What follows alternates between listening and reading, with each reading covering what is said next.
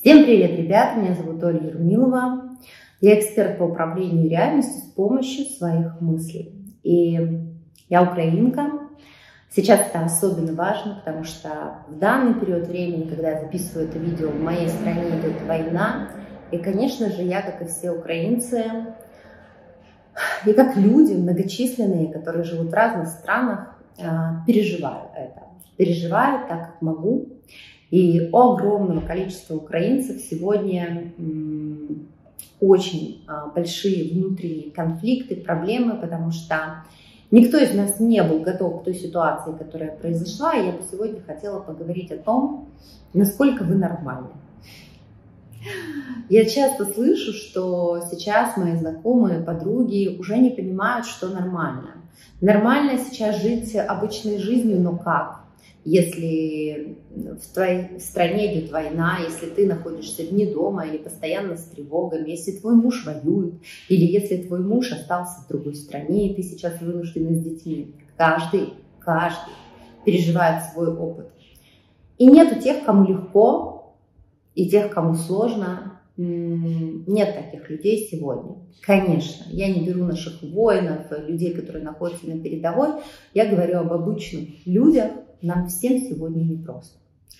И э, я бы хотела сегодня поговорить как раз про тех, кому не просто сильно и кто уже либо стесняется об этом говорить, потому что смотрит на кого-то, например, то есть тут две картины. Либо он находится в серьезных страданиях и уже ни на кого не смотрит, потому что один воет, и, простите, все остальные – либо же это состояние, когда тебе кажется, что тебе одному плохо, а все продолжают жить нормальной жизнью. Ты вроде заходишь в Инстаграм, они там все живут, там ездят куда-то, что-то ходят, а тебе плохо. Так вот, я вам хочу сказать первый очень важный момент. Сегодня вы получите разрешение на это плохо, но я хочу сказать несколько моментов. Первое, что надо понять, плохо сейчас это нормально.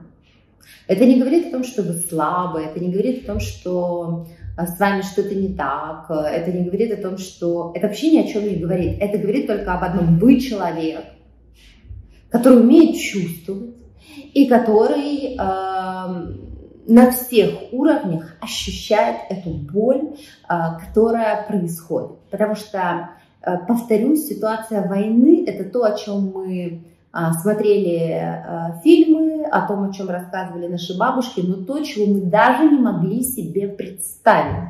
Особенно в современном мире это, в общем-то, и говорит о том, что когда началась война 24 февраля, и до этого нас предупреждали, никто не верил, потому что уровень абсурда слишком высок. И то, что сегодня плохо, и это не умещается в голову, это вообще нормально. Поэтому если вы по этому поводу испытываете угрызение совести, прячетесь в норку, это не нужно делать. Момент второй. Важно понять, что жизнь все равно идет. И, как я уже говорила, напомнить себе о том, что жизнь это некий промежуток времени, каждому дан свой. А, и дам для того, чтобы мы получили какой-то внутренний опыт. Мы все состаримся так или иначе, мы все умрем, и большинство из нас не от бомб и не от ракет, к счастью, но мы все равно уйдем. Вот это осознание должно вам напомнить о том, что жизнь это не, некая игра. Некий, некая игра, в которую мы впущены, и когда-то мы выйдем из нее. То есть это надо осознать. Мы не управляем этим процессом. Ну, то есть выйти из нее мы можем когда угодно, как бы, но мы не можем ее продлить навечно, что бы мы ни делали, потому что может произойти все, что угодно. Это осознание, оно несколько, знаете, вас отлепливает, и вы понимаете, что действительно что-то происходит помимо нас. Есть сила выше, чем мы. Следующий момент. Важно осознать, что вы можете сейчас себе либо помочь, либо вы можете себе помочь потопить. Это проще. То есть продолжаем смотреть новости, бесконечно страдать, бесконечно думать о плохом, бесконечно не ходить, не гулять, не знакомиться, не общаться с знакомыми, не пытаться найти работу, не попытаться как-то по-новому в новых условиях организовать свою жизнь, а, ничего типа меня не смотреть, вот просто находиться в состоянии грусти, страдания и ожидания. Вот это то, что можно сделать, но в этом случае последствия для вас будут не очень. Не очень. Потому что это даже не история про то, как говорят, что там а, после войны страна там восстанавливается от 10 до 30 лет экономически. Это даже не про это. Это про то, что вы, в принципе, можете себя настолько сильно вогнать в депрессуху, что потом, ну, просто вы будете другим абсолютно человеком. Зачем? В этом страдании важно задать себе вопрос «Зачем?», чего я хочу. Да, мне больно, и это нормально. Да, я страдаю, это нормально, и я могу страдать за прошлой жизнью, за своими вещами, за своим домом, за своим мужчиной, за чем угодно, но я продолжаю жить. И тут у меня есть выбор. Я либо продолжаю это делать, ну, либо, не знаю, можно умереть, можно пойти, ну, вот важно своему мозгу вот эту встряску устроить. И если я решила продолжать, то я начинаю жить так, как могу. Что такое жизнь? Жизнь – это всегда некое расписание. Вспомните нас в детстве. Мы либо мама, ну что мне делать, либо школа, английские, танцы, хор. Нам нужно чем-то заняться. Нам необходимо сместить фокус своего зрения со страданий на что-то другое. Спотеть, что я потерял, на что-то, что я могу приобрести. Нам необходимо выстроить так называемые точки опоры, канаты для себя, которые нас будут держать. Например, я сегодня тренировалась 2 часа. Я сначала час бегала, а потом дома пришла и сделала часовую тренировку с тренером на YouTube. И я тебя спросила, ну зачем? А я ответила, потому что в любом случае я бы этот час времени как-то провтыкала. Потому что я не всегда была бы эффективна, я бы не сидела и не записывала видео каждый час, я бы нет. Я бы поработала точно так же, но все свое время я бы не заняла. Я знаю, что у меня есть это время. И я могу либо прокрастинировать, либо работать над своим телом. Что дает спорт? Мало того, что он меняет наши внутренние гормональные, да, наш фон, он дает нам гормоны правильные, которые нам там повышают эндорфины и прочие вещи, не суть важно, но мы чувствуем себя лучше, но мы смотрим на себя в зеркало каждым днем и нравимся себе все больше. Ведь каждой женщине прекрасно знакома история с тем, когда ты нравишься себе в зеркале и нет. И это влияет на нас очень мощно. Потому что когда, по крайней мере, ты знаешь, что ты хороша, твое тело сильное, оно тебе нравится, оно настолько стройное или какое-то, которое тебе нравится, это твоя уверенность. И как ни крути, это меняет твое внутреннее состояние при выходе из дома и вообще при э, соприкосновении с реальностью. Потому что когда ты себе еще и физически не нравишься, и у тебя еще есть червячок, например, ты там раньше тренировалась, занималась, а сейчас все потеряло смысл, становится еще хуже. Поэтому для себя, например, я взяла это, потому что месяц назад, чуть меньше, я обнаружила, например, что я стала поправляться что из состояния весна я перехожу в состояние жаркого лета, здесь в Италии это раньше происходит, и что мне не нравится, как я выгляжу, потому что в худи я выгляжу хорошо, а без худи я выгляжу уже не очень. И я решила, что это будет для меня двойной штукой. Это будет моментом для моего нового времени, потому что сейчас у меня немножко перестроился график. И это будет для меня еще и мотивацией моего внешнего вида, моего хорошего настроения. То же самое касается нового дела или старого дела, работы. Ваш мозг должен быть занят. Если вы ничем не занимаетесь, если у вас нет обязательств, Или, ну вот как я, да, например, я работаю, я провожу тренинги, и мои обязательства, это я называю даты тренингов, и я их веду. Для этого мне необходимо создавать контент, чтобы постоянно люди со мной знакомились, чтобы мы взаимодействовали. Это уже моя внутренняя дисциплина. Я теоретически могу записать это видео, могу не записать, могу провести эфир, могу не провести. Это мой выбор, но это и моя внутренняя дисциплина, потому что я тот предприниматель, который умеет себя организовывать. Если вы по природе, например, наемный сотрудник, то для вас это проблема. Вам нужен начальник, который вас организует, да, и для вас там мотивация будет зарплата, не знаю, там, чтобы он вас не уволил или что-нибудь еще. Это тоже есть момент. То есть важно создать для себя некие точки опоры переключения. Да, вы можете в 10 часов вечера или в 9 брать э, долгожданно в руки телефон и начинать там двухчасовое страдание с бутылкой просека, а, не знаю, с кока-колой, как у меня, или с чем-нибудь еще. Вы можете это делать, но время значительно сократится.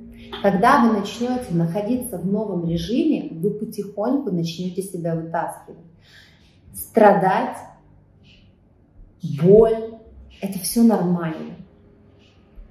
Это все нормально, но ненормально, когда это становится основой нашей жизни, потому что это не позволяет нам никак развиваться. И если вы смотрели мое предыдущее видео, если нет, посмотрите, где я рассказываю о том, каким образом мы с вами э, можем изменять свою реальность. Так вот, находясь в мыслях постоянных грусти и страданий, мы а, ничего к лучшему поменять не можем. Мы наоборот, только еще больше притягиваем к себе. Мы как будто бы на темной улице, яркое окно со светом ночью, куда слетаются все комары.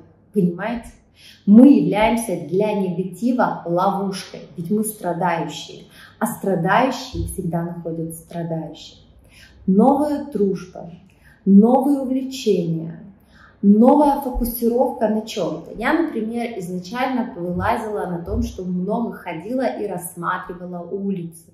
Рассматривала и фокусировала внимание на том, на чем в обычной жизни я никогда не фокусировала. Мне кажется, что я Флоренцию сейчас знаю лучше, чем Киев.